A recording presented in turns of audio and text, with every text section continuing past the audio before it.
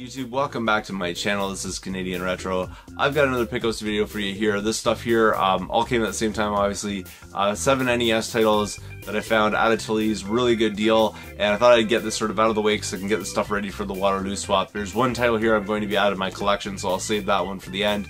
Uh, the rest of them, though, here I'm to do in order. So uh, for this whole deal, uh, what I did was I ended up paying approximately, I'm trying to remember exactly, basically just under $31 for everything here. That included like tax and all that kind of stuff. Uh, because if you buy five, you get one free. And also I had a dollar off, so I was able to put all that together and uh, get a pretty good deal here going on. So I'll show you what I got here. Though we'll just consider this title the uh, the freebie of the lot, and that is Mario Bros. Duck Hunt. Um, obviously, a lot of the times, you know, I'd leave this behind. If it was just sitting on the shelf by itself, I probably just would have left it behind. But recently, I've acquired a couple of systems. One of them still needs a copy of this, and this one's in pretty good shape. So I decided to pick that up. Plus, it came with a dust sleeve, which I need these like quite a bit. So pretty cool right there. Uh, only problem with this one, it has a tab missing right here.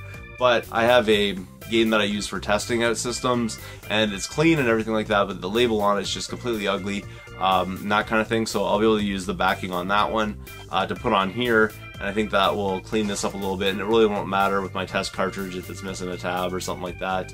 But even uh, with that, I mean, it's completely tight. It doesn't really matter for some reason.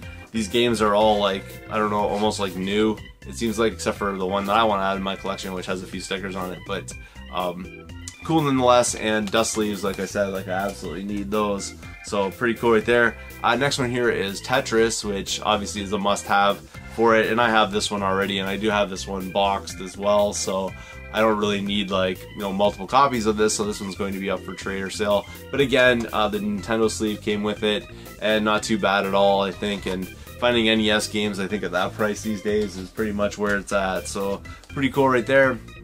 Uh, moving on, I also picked up Teenage Mutant Ninja Turtles, which again I have in my collection, so uh, I won't be needing this copy of it, but I might um, compare this against mine because the label seems uh, fairly mint on that one, and I do love the artwork on that one. It's absolutely phenomenal.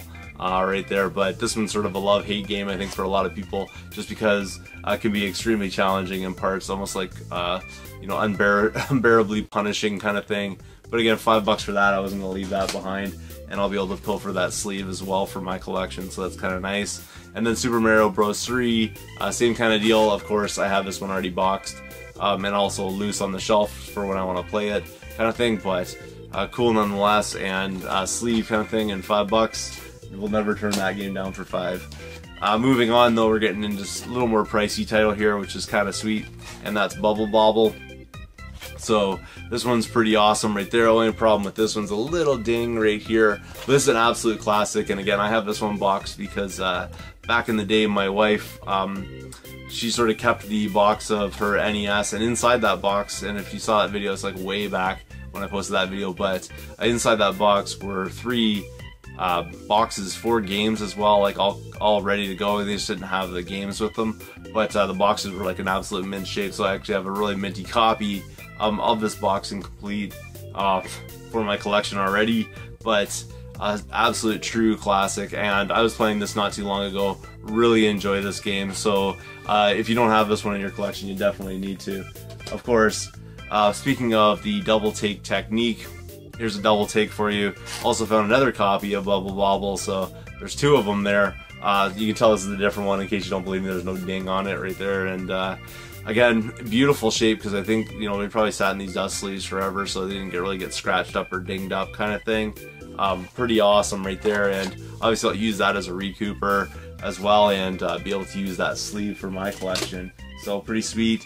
And then the last title which isn't nearly as fancy as any of those but I figured, you know, I'll be able to add this in free and then some kind of thing into my collection. So when I'm able to do that, I don't mind picking up games for a little more than uh, you know, a little less valuable or whatever. as long as I don't have it in the collection already, and that's what this one sort of falls under that category, and that's Magic Darts. So I didn't have this in my collection already. I don't think I've ever seen it out there or bothered to scope it out or pick it up, but again, I'll be able to add that into my collection. It won't cost me a cent to do it, so that's pretty sweet. Again, five bucks with a Nintendo sleeve, so I'll be able to protect a more valuable game uh, with that. So pretty sweet. If you haven't checked out this game, you should go check out some gameplay footage of it. It's kind of funny.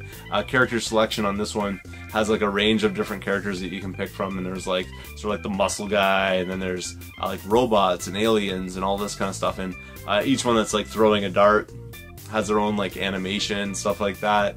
It's pretty cool. I bet you it's pretty technically challenging as far as uh, you know um, the technique that you use in order to do it. I'm sure it's like one of those things where you fill up a power meter and you have to get the angle right and all that kind of stuff. Sort of like very much like those uh, classic dart games from back in the day. This one just has some pretty funky animations on it and each one has its own little special like throwing animation so it's pretty cool. Um, go check it out if you haven't already. And really happy to add a new NES title into my collection I didn't have already so really rocking right there. That's everything I have this time around for you guys. Thanks again for watching. If you haven't subscribed yet please do. Feel free to thumbs up this video comment down below and I'll see you all later